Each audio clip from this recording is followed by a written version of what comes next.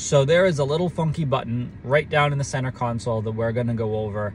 People are pretty obsessed with this. Pretty much everybody that gets into a BMW asks me what this button is, what it does, what why is it there?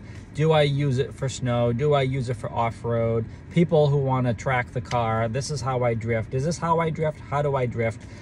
It's crazy. Uh, so we're gonna go over DSC off. That is dynamic stability control.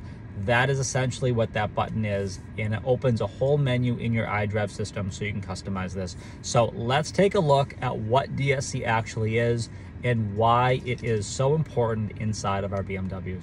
So there it is, that little funky card, and it says off.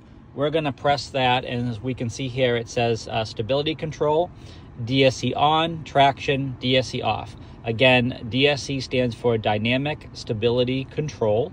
Uh, if DSC is on, as it is in this case, you can see a description of what that means right here. So you are driving in this case with chassis stabilization. It's going to counteract oversteer and understeer. Uh, steering intervention will be deactivated in the traction and DSC off settings. We'll get to that. But essentially, DSC on is the safest way of driving the car. Going to traction, this basically is for loose ground.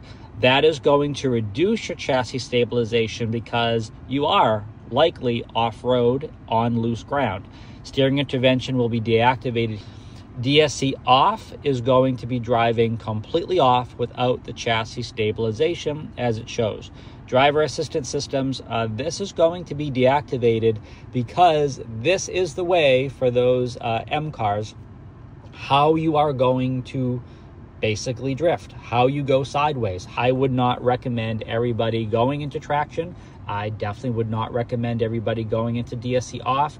Uh, you need to really understand uh, your car, the power it has, the conditions you're driving in, uh, the weather you're driving in. I would say the safest recommendation for everybody is DSC on. If you want to do anything other than that, possibly it's traction if you're off road. Uh, but to shut DSC off, you really have to understand what you're doing. Uh, definitely do not do this if you're not aware of what the car is going to do. This is how people can lose control of the car and uh, some pretty pretty bad things can happen. So be very safe out there. Read your owner's manual. Make sure you understand what these different settings do.